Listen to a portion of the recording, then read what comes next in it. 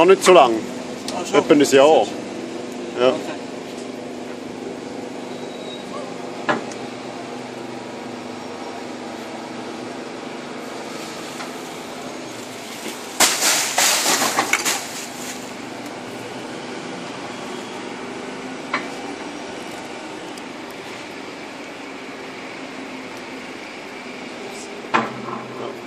Hinter.